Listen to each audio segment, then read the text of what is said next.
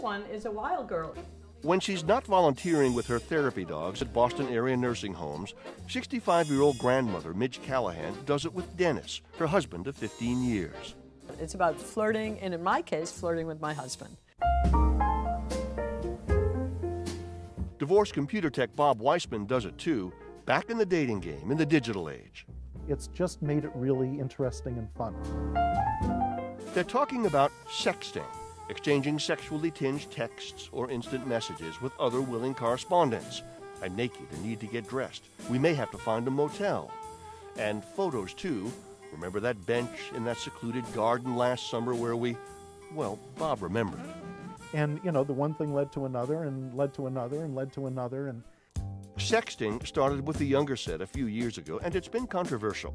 Just recently, deposed Miss California Carrie Prejean said she was only sexting when she made the youthful mistake of posting photos and a so called sex tape to an ex boyfriend. But the AARP crowd is more careful. I, I, would never send a face picture. And you can send a picture to someone who could send it to a hundred other people.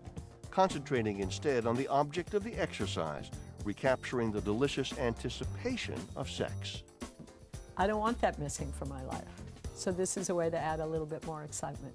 More and more therapists and relationship coaches are telling their older clients to give it a try. It's connecting to that spicy, juicy courtship. You know, that those red stiletto heels, those late nights of passion. It all sounds good to New Yorker Ruth Rosner, who at age 93 still, as she puts it, has her engine running.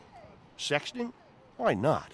This is a new possibility right. for me. I have been saying, what am I going to do while I hibernate this winter? Where am I going to find my excitement? Are there risks, even for careful seniors?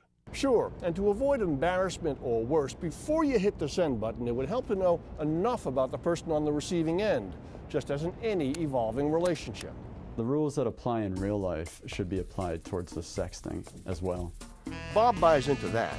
Most of the people that I end up, you know, uh, sexting with have been people that I've been texting with for a long time. A new media bonus that folks of a certain age are just discovering is available.